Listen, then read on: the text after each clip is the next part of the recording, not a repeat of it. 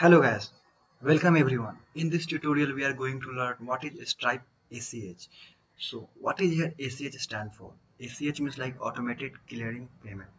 So till now we have done how to do payment with the help of credit card. So in this video we are going to learn how to do payment directly from a customer account. So this feature is currently only in US country. So here it will take 5 to 7 days so this is like a little bit uh, long process. So definitely it will take five to seven days. After that uh, it will take like next one more days to show into the stripe dashboard. So here definitely we need to verify our bank account. After that your bank account must be authorized to use for the customer. So what is the workflow? Like how we can integrate in our application? So we are going to follow some steps like in first of all we need to add the bank account.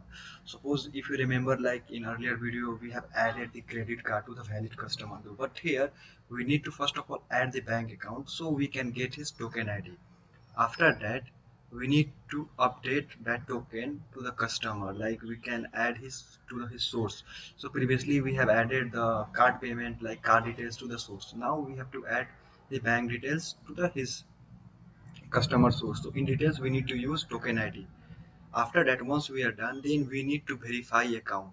So there is some step we have to follow to the verify account and once we are done after that we can go for the payment.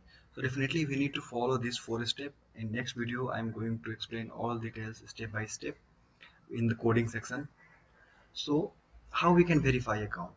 So currently like there is two ways. First way is like using Plaid so this is a third party. Already stripe has been integrated with the Plaid.